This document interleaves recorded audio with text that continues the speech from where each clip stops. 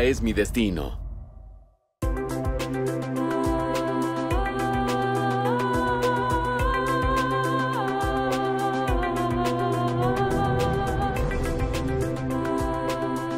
Muy buenas noches, bienvenido a Tocando Vidas en la edición número 100.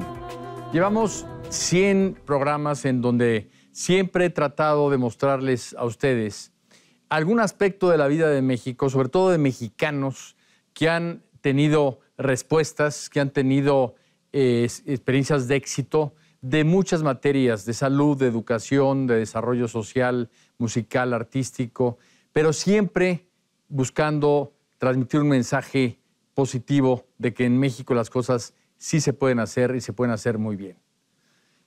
En la tendencia mundial que estamos viviendo actualmente es que no hay ningún gobierno en el mundo que pueda resolver todos y cada uno de los problemas sociales, de las necesidades de la población. Y mientras la población tiene mucho más elementos y herramientas para expresar sus necesidades, los gobiernos cada vez tienen menos recursos para atenderlas. Y es así como se viene fortaleciendo la sociedad y se empieza a organizar para resolverse a sí misma los problemas.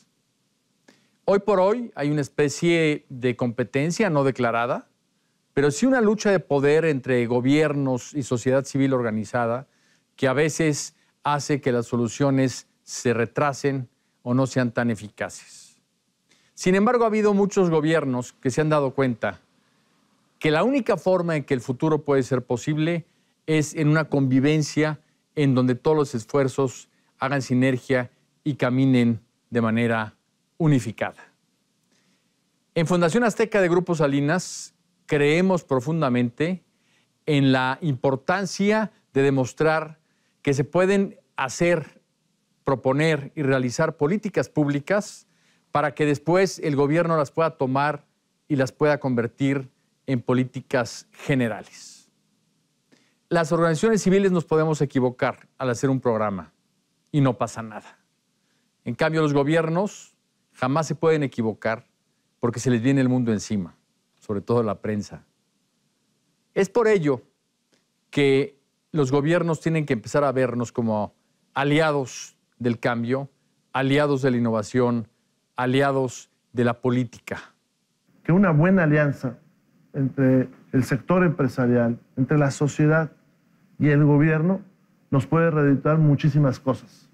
Iniciamos hace un año y medio con Esperanza Azteca, una orquesta de niños y jóvenes, niñas, niños y jóvenes de aquí, de Torreón y del área de la comarca, que es todo un éxito. Que ha evolucionado maravillosamente, que se ha convertido en un eh, motor de muchas otras cosas buenas. Una de ellas, a lo mejor me estoy adelantando en decirlo, llevar experiencias similares a otras regiones del Estado. Quiero presentarles el día de hoy seis de las políticas de Fundación Azteca que nosotros estamos seguros que se están convirtiendo en políticas públicas y que van a quedar como programas gubernamentales después de que han quedado en la realidad probadas las metodologías. Una de ellas, sin duda, es Limpiamos Nuestro México. Llevamos siete años trabajando con la población mexicana, tratando de crear una conciencia de que es inaceptable tirar basura, que México no debe de ser en cada uno de sus arroyos, de sus lagos, de sus carreteras, un basurero, sino que debe de ser un país perfectamente limpio por todas las consecuencias de la basura en términos de salud pública, en términos de turismo y sobre todo en términos de dignidad como país. La gente ya está haciendo más conciencia de que es, es necesario que cambiemos esos malos hábitos y todos estamos dispuestos a poner nuestro granito de arena para que esto mejore. En nuestra edición pasada se sumaron 8 millones y medio de voluntarios a limpiar muchos miles de rincones de la patria. Y gracias a este programa es que muchos servidores públicos, sobre todo presidentes municipales, se han dado cuenta que el tema de la basura sí está en la agenda, que lo metimos a la agenda política y que tienen que atenderlo. No cabe duda que muy pronto México tendrá mecanismos establecidos de limpieza generalizada para que en unos años, quizás en 10, 15, México sea un país perfectamente limpio y sea un país que le ponga el ejemplo al resto del mundo. Otro tema es el de las orquestas sinfónicas Esperanza Azteca.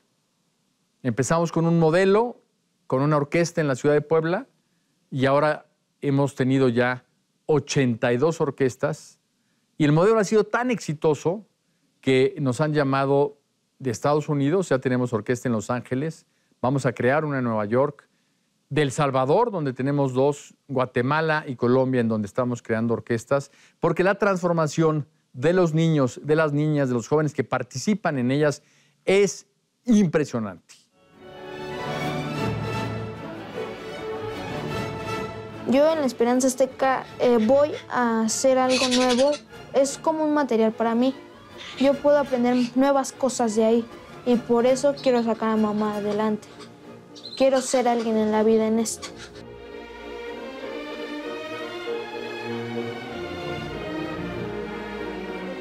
Nadie duda que el arte y sobre todo la música va a estar en el currículum educativo de México y que en quizás 20 años va a ser tan común ver a un niño con un instrumento sinfónico como hoy lo es con un balón de fútbol.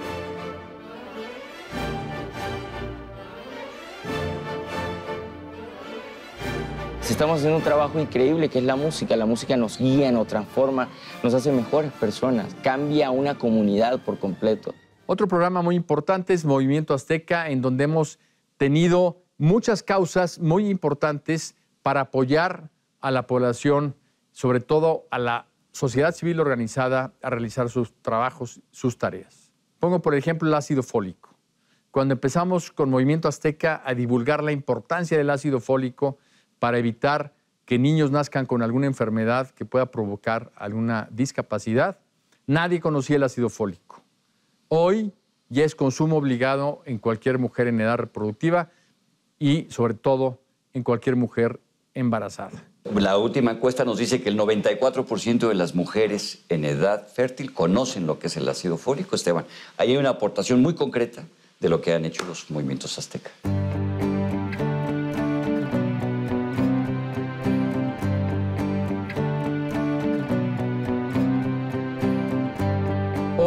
Está en la cartilla de la Secretaría de Salud y se distribuye gratuitamente. El primer movimiento azteca fue sobre trasplante de órganos y tejidos. Nadie hablaba de ello, no me lo van a creer, pero en una ocasión nos preguntaron que qué pasaba con un corazón que se donaba, que de quién era el corazón en el momento de la resurrección, de quién lo recibió o de quién lo dio. Y todos estos temas los fuimos resolviendo se empezó a hablar de manera masiva de la generosidad que significa donar a la muerte órganos y tejidos. Y hoy ya es un tema de agenda pública la donación y los trasplantes. En Movimiento Azteca también hemos impulsado campañas muy fuertes en contra de la gran epidemia que es la diabetes y muchas otras cosas más que afortunadamente han penetrado en la conciencia de la sociedad mexicana y de sus autoridades. Otro tema muy importante es parteras profesionales. En el momento en que empezamos a apoyar esta causa, la partería no se consideraba algo profesional. Hoy la Secretaría de Salud ya tiene dentro de su categorización de eh, todo lo que son los auxiliares de salud a las parteras profesionales. ¿Por qué? Porque son profesionales porque estudian tres años, pero viven en lugares a donde no llega la medicina pública. Llegaron, promocionaron la escuela y así nos dijeron, éramos como 36 chicas aspirantes a las becas y nos dijeron que habían como seis nada más las elegidas y pues yo fui una de ellas. Viven en lugares de que si no estuvieran ellas, no habría nadie atendiendo madres y bebés durante el embarazo y los nacimientos nuestro trabajo como parteras es, el estar, eh, el tener el acompañamiento con esas mujeres desde que empiezan con el trabajo de parto hasta que nacen sus bebitos. Es no dejarlas solas, es, alentando, es estarlas este, orientando, apoyando, apapachando inclusive, para que ese momento que es tan difícil este, sea más, más suave y más agradable.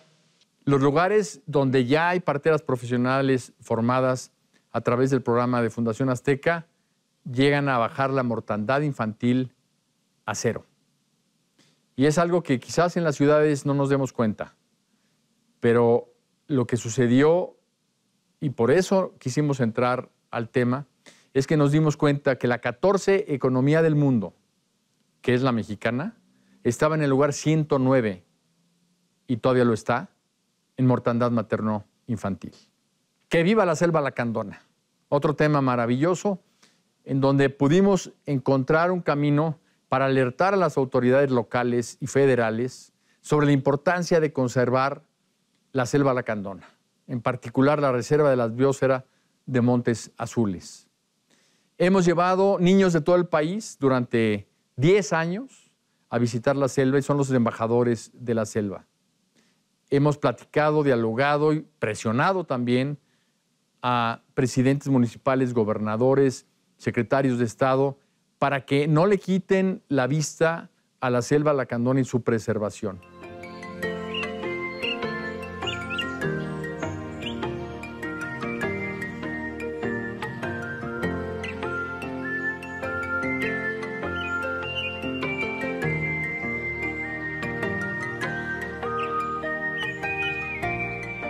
Plantel Azteca es realmente la realización de una metodología de enseñanza acertada, exitosa y reproducible, replicable. Como es Escuela Nueva, en las escuelas multigrado, en donde estamos trabajando en cerca de 200 escuelas junto con el gobierno del Estado de Puebla. Este, el rol del maestro actualmente en la Escuela Nueva es de un facilitador, de un guía.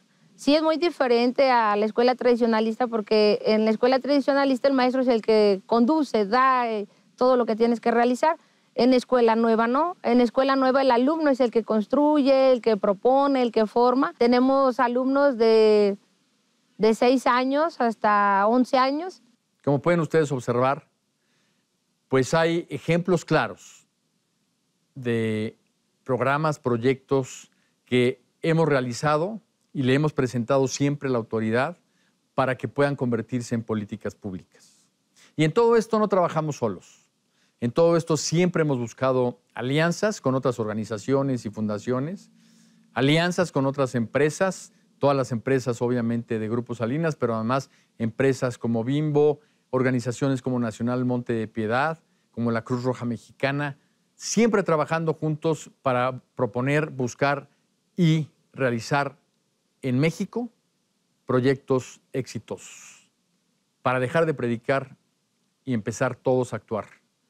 Porque nadie puede cambiar el mundo, pero todos, todos podemos cambiar nuestro entorno. Yo te invito a que cambies tu entorno, porque de esa manera todos juntos vamos a cambiar a México. Muy buenas noches.